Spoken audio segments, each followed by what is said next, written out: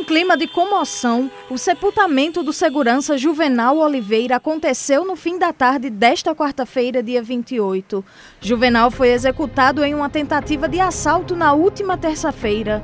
O crime chocou toda a cidade de Currais Novos. Familiares, amigos e colegas de trabalho se reuniram para prestar as últimas homenagens a um homem cujo carisma e dedicação ao seu trabalho eram inegáveis. Ele era uma pessoa legal, uma pessoa ótima. Ele conquistava, seja lá quem for, as pessoas especial. Morreu honrando o trabalho dele, digno, trabalhador, honesto. O que eu digo à população, que a gente quer a justiça de Deus, que seja a de Deus que ele é uma pessoa boa, que ele vai em paz, ele é querido de todo mundo, das crianças, de todo. Até o, o cachorrinho dele acompanhou o velório dele, que a população chega ficou assim, é, achando assim uma coisa muito importante, é que ele era até para o cachorro, ele era né, importante, né? É, é, isso que eu tenho que dizer, que é uma pessoa boa, que vai em paz, que ele está dentro do meu coração. Durante a cerimônia fúnebre, palavras de conforto foram compartilhadas, destacando a perda da pessoa querida, um misto de saudade e dor e o pedido para que este ato não passe impune. Que a justiça procure logo essas pessoas que fizeram esse ato com o meu irmão, que é só o que a gente quer, é só justiça mesmo e pronto. E essas pessoas que fizeram isso, dor na consciência e se entreguem. Porque é melhor. Porque é a família quem sofre mais com a perda da, um irmão tão querido que a gente tinha. E não só meu irmão, como a família completa em geral. E que Deus abençoe, que bote ele num bom lugar. E que Deus abençoe a todos. O crime gerou um grande sentimento de revolta em toda a população, um momento de lamento, de dor e, sobretudo, de cobrança que escancarou a necessidade urgente de ações para garantir a segurança da população em geral. Ninguém tinha, até hoje, conhecimento, Arnaldo nunca tinha passado por isso e chegou até onde chegou. Né? Eu quero aqui agradecer a vocês por espaço, convocar toda a mídia para que a gente possa comprar essa participação, essa, essa união para cobrar das autoridades. Nós temos governador, que não está nada aí com Corrais Novos. Nós temos o presidente da Assembleia, que tem responsabilidade com Corrais Novos. Nós temos o, o, o prefeito, que também é uma, é uma parte principal, porque é prefeito, ele é responsável pela segurança. Nós temos a Câmara Municipal, nós temos o CDL, que é representante do comércio, o comércio está sendo assaltado praticamente direto. Além de ser assaltado, os funcionários sendo humilhados, massacrados, pisados, levando revólver nas costas e levando o nome de bandido, e todo mundo de braço cruzado. Será que nós vamos ver o nosso Corrais Novos igual o Rio de Janeiro? Então acho que está na hora de se unirmos, todos, não querendo aqui tirar proveito político com A, com B ou com C. O proveito político aqui é Currais Novos, uma cidade que está tá em desenvolvimento. Nós temos agora essa menina de ouro dando dezenas e dezenas de emprego. Então temos que, em primeiro lugar, cobrar segurança. Quem tem que dar segurança? O governo federal. Fugiu dois pessoas de Mossoró, da penitenciária, tem 600 homens, 600 procurando, até hoje não encontraram.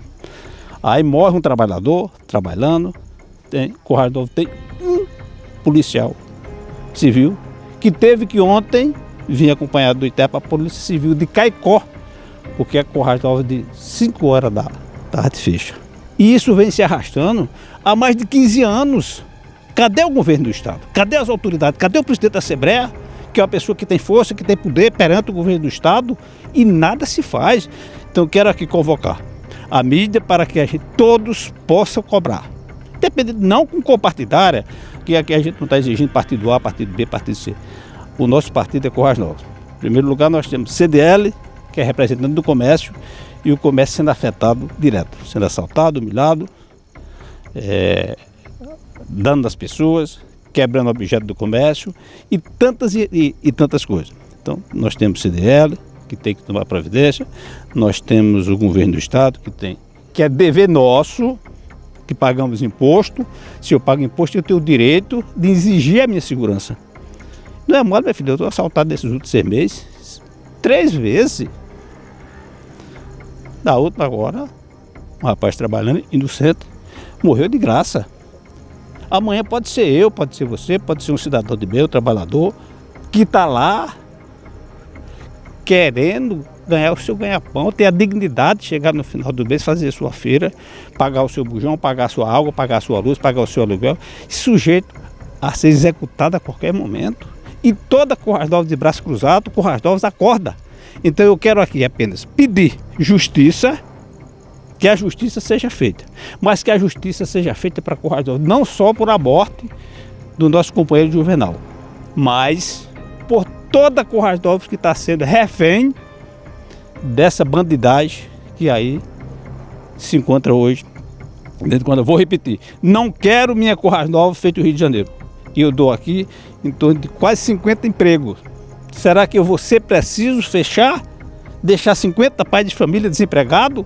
Porque o Estado, a União, que é de direito, a Constituição me dá direito de me dar a minha segurança, eu não tenho, eu acho que está na hora de parar. Então quero aqui cobrar todos de qualquer partido, deputado A, B, C, presidente, prefeito, vice-prefeito, vereador, comércio, autoridade que tenha condição de se reunir, de conversar e dizer: nós vamos limpar Corrais Novos. Nós vamos voltar Corrais Novos o que era.